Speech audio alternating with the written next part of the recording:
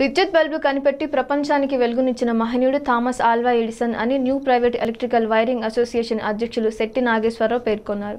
ప్రపంచ విద్యుత్ దినోత్సవాన్ని పురస్కరించుకుని బుధవారం మండపేటలో విద్యుత్ కార్మికులు ఘనంగా ర్యాలీ నిర్వహించారు.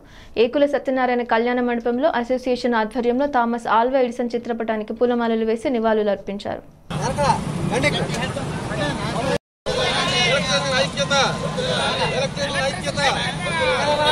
ఐక్యత.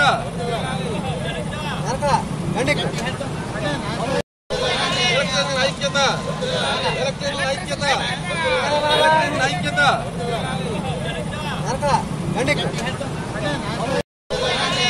ఐక్యత ఐక్యత ఐక్యత ఐక్యత